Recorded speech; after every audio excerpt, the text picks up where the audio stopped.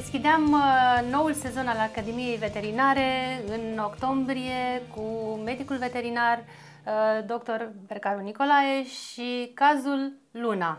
Suntem astăzi într-o zi de sărbătoare și la început de an, hai să zicem, uh, perioada de bilanțuri.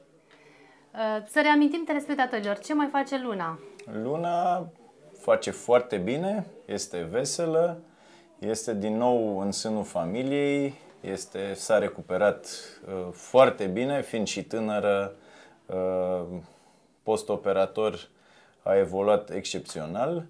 Deși a trecut printr-o practic banală operație, uh, ea dintr-un câine practic anonim, un, un metis găsit pe stradă, A devenit a vedetă. devenit vedetă. Și a devenit vedetă uh, prin faptul că în urma interviului nostru și în urma dezbaterii subiectului a steriliza sau nu câinii uh, deținuți de rasă sau metiși, Și mai ales vârsta la care acest uh, procedeu trebuie făcut. Așa.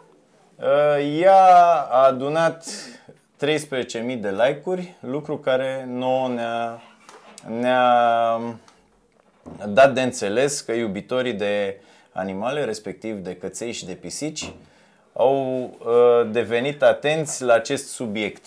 Pentru că aveți și o experiență clinică. Uh, După această um, ediție a emisiunii, au crescut uh, numărul de pacienți care au venit?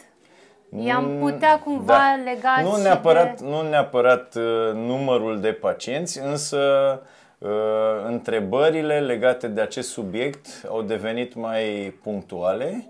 Oamenii, după părerea mea, au început să, să înțeleagă, mai ales acum că este, suntem în, uh, într-un, în desfășurarea unui proiect uh, amplu, nu noi, toți veterinarii din uh, România, respectiv uh, luarea în evidență a tuturor câinilor, cu sau fără stăpân, și implicit sterilizarea celor care e bine să fie sterilizați.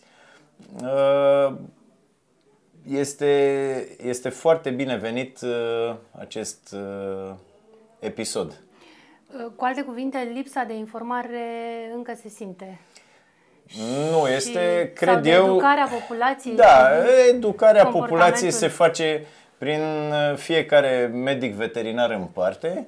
Fiecare veterinar are stilul propriu, unii sunt mai plăcuți, alții mai puțin plăcuți, unii explică cu mai multă convingere, alții uh, sunt mai puțin convingători, dar uh, facem pași înainte spre rezolvarea acestei probleme. Îi urăm în continuare lunei multă sănătate și pentru că suntem la început de an și colindăm, hai să vedem și pentru proprietari ce le doriți noul an. Uh, În primul rând vă doresc uh, multă sănătate prietenilor dumneavoastră și dumneavoastră, să aveți cât mai puțină nevoie de noi și când aveți nevoie de noi să fie doar vorba de consultanță. Medicul uh, s- bun se cunoaște după cât de rar îl frecventezi. Dacă ai mai puțină nevoie de medic, înseamnă că te-a sfătuit mai bine și atunci urarea este să ne vedem cât mai rar în noul an.